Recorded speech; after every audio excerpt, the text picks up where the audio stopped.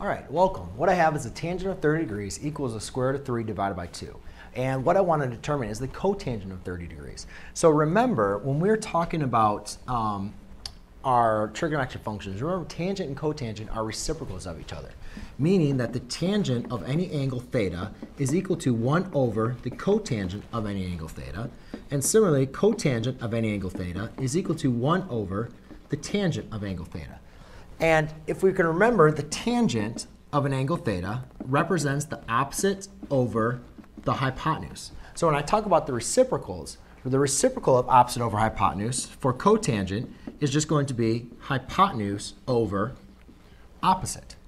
So therefore, what you can see is these are just reciprocals. You can pretty much just take your numerator and your denominator and change them over. So the cotangent of 30 degrees is going to be 2 over radical 3. Now remember, we need to rationalize the denominator. We don't want to have our radical on our bottom.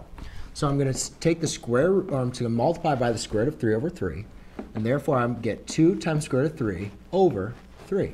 So when the tangent of 30 degrees is square root of 3 over 2, the cotangent of 30 degrees is going to be equal to 2 times radical 3 divided by 3.